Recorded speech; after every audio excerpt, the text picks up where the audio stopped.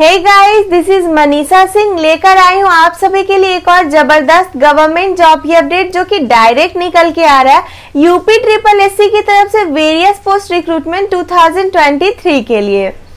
Friends ये आपका all India की वैकेंसी है। मेल एंड फीमेल दोनों ही कैटेगरी के कैंडिडेट्स के लिए बेहद खास अपॉर्चुनिटी है। प्लस में आपका ग्रुप सी का पोस्ट रहेगा। और सबसे खास बात इस वैकेंसी के लिए ये रहने वाला है फ्रेंड्स कि यहाँ पे आपका जो पेपर होगा ना उसमें आपको मैथ्स के क्वेश्चन नहीं पूछे जाएँगे। तो जिन बच्चों का मैथ्स वीक है उनके लिए ये बहुत अच्छी अपॉर्चुनिटी रहने वाली है। सो so, चलो फ्रेंड्स बता देती हूँ कि किन किन पोस्ट के ऊपर वैकेंसी आई है। आपका फ्रेंड्स फ़र्स्ट पोस्ट है जूनियर असिस्टेंट देन आपका junior clerk and assistant grade three के पोस्ट पे ये वैकेंसी आपकी आउट हो चुकी है। तो चलिए फ्रेंड्स इस वैकेंसी के रिगार्डिंग हम लोग डिटेल वे में डिस्कशन कर लेते हैं कि इसका selection process eligibility criteria age limit education qualification क्या रिक्वायर्ड है।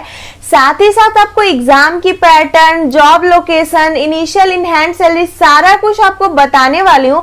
तो अगर आप भी इस वैकेंसी के रिगार्डिंग थोड़े से भी इंटरेस्टेड होंगे तो वीडियो को एंड तक आप ज़रूर देखना। सो so, चलो बिना टाइम को वेस्ट करते हुए लेट्स स्टार्ट द वीडियो बता दूँ आपको कि टोटल नंबर ऑफ़ सीट्स यहाँ पे 3831 रखा गया है। तो चलो मैं बता दूँ कैटेगरी वाइज सीट्स को किस तरह से डिस्ट्रीब्यूट किया गया है। जनरल कैंडिडेट्स के लिए 1889 सीट है। ईडब्ल्यूएस e के लिए 326, ओबीसी के लिए 763, एससी वालों के लिए 770 एंड एसटी के लिए 83 सीट्स रखा गया है। ओवरऑल 3831 सीट्स है। तो चलो, अब आप सोच रहे होंगे कि किन डिपार्टमेंट्स के अंडर आपको यहाँ पे वर्क करना पड़ सकता है। तो मैं हूँ ना, मैं बता देती हूँ आपको डिपार्टमेंट के नाम। राजस्व विभाग, सिंचाई एवं जल संसाधन, बाल विकास सेवा, शिक्षा विभाग, महिला कल्याण गरीब ग्रामीण विकास मतलब जो भी सरकारी डिपार्टमेंट है ना आपको यूपी गवर्नमेंट के अंडर उसके अंडर आपको वर्क करना पड़ सकता है। और बाकी के डिपार्टमेंट आए फ्रेंड्स आपको स्क्रीन पे शो कर रहे होंगे। और अगर स्क्रीनशॉट में समझ ना आए फ्रेंड्स तो आपके लिए ना मैं टेलीग्राम चैनल पे नोटिफिकेशन पोस्ट कर देती हूँ। तो आप वहाँ पे जाकर के भी देख लेना। तो चलो मैं बता दूँ इंपॉर्टेंट डेट्स क्या रहने वाला है। तो आपका जो फॉर्म स्टार्ट होगा ट्वेल्थ ऑफ़ सितंबर 2023 से स्टार्ट होगा। And last date to apply आपका थर्ड अक्टूबर 2023 रहने वाला है। आपको फ्रेंड्स इंतज़ार करना है ट्वेल्थ सितंबर का, ना कि थर्ड ऑफ़ अक्टूबर का। जैसे ही ट्वेल्थ सितंबर को आपका ये फॉर्म स्टार्ट होता है ना, आप जितना जल्दी हो सके अप्लाई कर देना, ताकि आपको सर्वर इशू फेस ना करना पड़े। तो चलो अब मैं बता देती हूँ फॉर्म की फ़ी क्या रहने वाली। तो फ्रेंड्स ऑल कैटेगरी कैंडिडेट से यहाँ पे ट्वेंटी फाइव रुपीज़ रहने वाला है। जी हाँ फ्रेंड्स काफ़ी कम और रीजनेबल आपको फॉर्म की फ़ी रखी गई, क्योंकि यूपी गवर्नमेंट की है तो ये चीज़ बहुत अच्छा लगता है कि फॉर्म की फ़ी स्टूडेंट से ज़्यादा नहीं लिया जा रहा हो। चाहे आप जनरल कैंडिडेट हो ओबीसी ईडब्ल्यूएस एस सी या फिर पीएच कैंडिडेट यानी फिजिकली हैंडीकैप दिव्यांग, सभी से ट्वेंटी फाइव रुपीज़ यहाँ पे लिया जाएगा।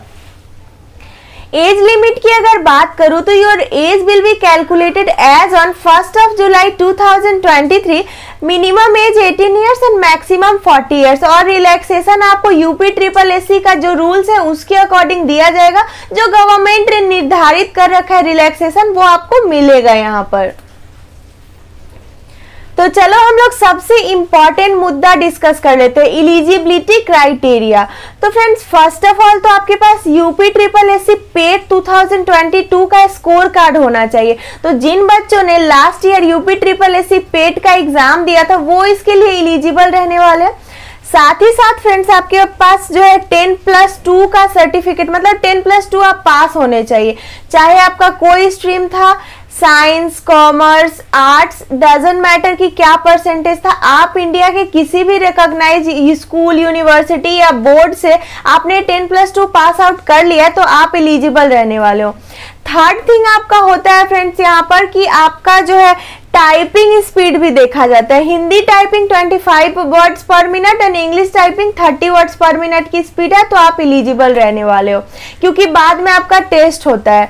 और फ्रेंड्स उसके अलावे आपके पास एन आई टी का ट्रिपल सी एग्ज़ाम पास होने का सर्टिफिकेट होना चाहिए। तो आप सोच रहे होंगे कि एन आई सी ई क्या है? सॉरी सी क्या है? National Institute of Electronics and Information Technology से आपका ट्रिपल सी यानी कोर्स ऑन कंप्यूटर कंसेप्ट का सर्टिफिकेट आपके पास होना चाहिए। चलो फ्रेंड्स अब बता दूँ कि सिलेक्शन प्रोसेस क्या होने वाला है। तो सिलेक्शन आपका जो है टू मेजर स्टेज पे डिपेंडेबल रहने वाला है। फ़र्स्ट आपका रिटर्न एग्ज़ाम होगा देन होगा आपका टाइपिंग टेस्ट जो कि क्वालिफाइंग नेचर का रहने वाला है। उसके बाद फ्रेंड जैसे हर जॉब में होता है सिंपल सा डॉक्यूमेंट वेरिफिकेशन प्लस में आपको मेडिकल टेस्ट तो होगा ही।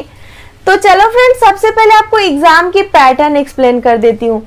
आपको 100 क्वेश्चन का पेपर होगा 100 मार्क्स के लिए टू आवर्स में कंडक्ट कराया जाएगा। निगेटिव मार्किंग भी है वन फोर्थ यानी कि 0.25 का।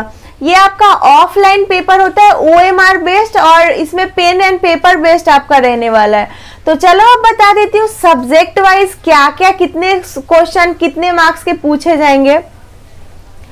आपको Hindi comprehension and writing ability के 30 क्वेश्चन 30 मार्क्स के लिए जनरल इंटेलिजेंस के 15 क्वेश्चन 15 मार्क्स के लिए मतलब कि जनरल इंटेलिजेंस बोले तो रीजनिंग जनरल इंफॉर्मेशन के 20 क्वेश्चन 20 मार्क्स के लिए concept of computer and IT and contemporary technology development in this field मतलब कि आपको कंप्यूटर रिलेटेड क्वेश्चन रहेगा 15 क्वेश्चन 50 मार्क्स के लिए।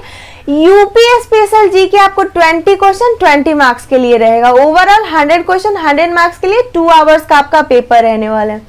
तो इसके बाद आपका होता है टाइपिंग टेस्ट जो कि क्वालिफाइंग नेचर का है तो इसमें आपको जो हिंदी वर्ड का टाइपिंग होगा ना 25 वर्ड्स पर मिनट की स्पीड होनी चाहिए मिनिमम एंड इंग्लिश में आपको 30 वर्ड्स पर मिनट की स्पीड होनी चाहिए क्वालिफाइंग है। इसके बाद अगर आप क्वालिफाई कर लेते हो फ्रेंड्स तो होता है आपका डीवी एंड आपका मेडिकल उसके बाद आपको आपकी ज्वाइनिंग लेटर एंड अलॉटमेंट मिल जाती है। तो अब आप सोच रहे होंगे कि ज्वाइन करने के बाद सैलरी क्या मिलेगा मुझे? तो चलो मैं हूँ ना, मैं बता देती हूँ आपको। यहाँ पे आपका बेसिक पे है 5200 to 20200 but initial in hand salary आपको 29000 दिया जाता है। तो ये तो बस कहने के लिए होता है फ्रेंड्स बट आप जब ज्वाइन कर लेते हो ना तो आपका सैलरी जो मिलता है पर मंथ आपको 30 टू 35000 के बीच में आपको सैलरी पर मंथ मिल जाता है। इसमें अच्छे खासे पार्क्स एंड अलाउेंसेज होते हैं, जो पर ईयर आपको सैलरी में इंक्रीमेंट भी देखने को मिल जाती है। एंड जॉब लोकेशन की रही बात तो जॉब लोकेशन अगर यूपी की जॉब है तो यूपी स्टेट में ही होने वाली है। एंड आपका फ्रेंड्स एग्ज़ाम सेंटर भी यूपी में जाके ही आपको एग्ज़ाम देना पड़ सकता है। सो आई होप कि अब मैंने जो भी डिटेल आपको बताया है UP triple S C various post recruitment 2023 के रिगार्डिंग आप उसको अच्छे से समझ पा रहे होंगे। और अगर समझने में थोड़ी सी भी दिक्कत है तो कमेंट सेक्शन में पूछो फ्रेंड्स हेजिटेशन करने की ज़रूरत नहीं है। और अगर लगता है कि हाँ मुझे हेजिटेशन हो रहा है कि कमेंट सेक्शन में कैसे पूछूँ तो आपके लिए फ्रेंड्स डिस्क्रिप्शन बॉक्स में मेरे इंस्टाग्राम का फेसबुक पेज का टेलीग्राम चैनल तीनों का लिंक दिया गया है। तो आप वहाँ पे भी जाके फॉलो करके मुझसे क्वेश्चन पूछ सकते हो।